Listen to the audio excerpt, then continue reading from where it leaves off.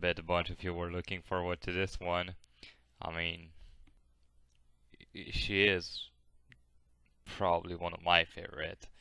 Um, who else but Regina? I mean, from Dino Crisis fa fame. She's a. I know, I say that a lot. I know. Don't get me wrong. I mean, I admit it. I say that a lot, but she's amazing. She's. She's Bayonetta before Bayonetta. She's like the rich man Jill Valentine. She she's the coolest. She, she there's no one like like her. Well, yeah, no, actually there's no one like she's always badass. Even when she's kawaii Zune shit, she looks badass. She looks awesome as fuck.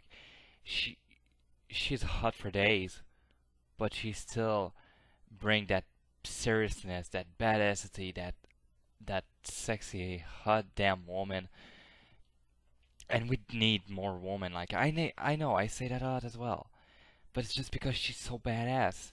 She and she doesn't. She, yeah, she she's the kind of femme fatale uh, who kick kicks the shit out of dinosaurs' asses because, in all fairness, dinosaurs are kind of assholes and they deserve to die. That's actually why they died.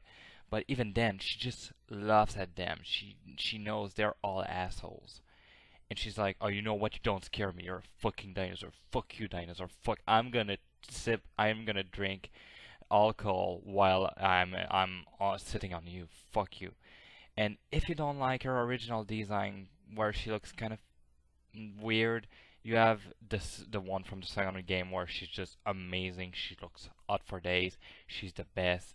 They nailed her design. She's she's perfect.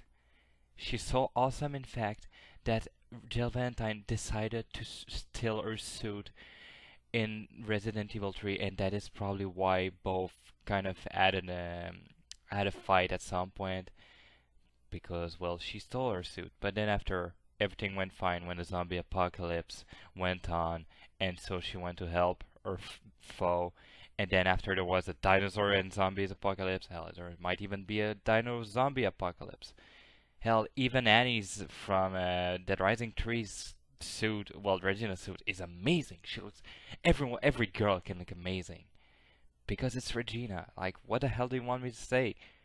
I, fuck, I want more Regina. And did I talk about the boot, the, the tits yet? Did I talk about them? Did I talk about her amazing breasts?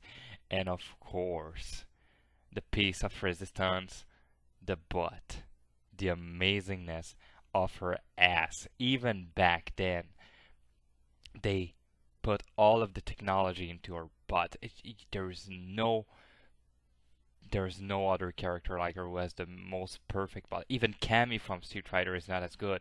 No, Regina has the perfect everything.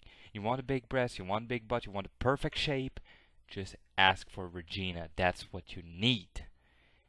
And oh fuck of course, let's talk about her face.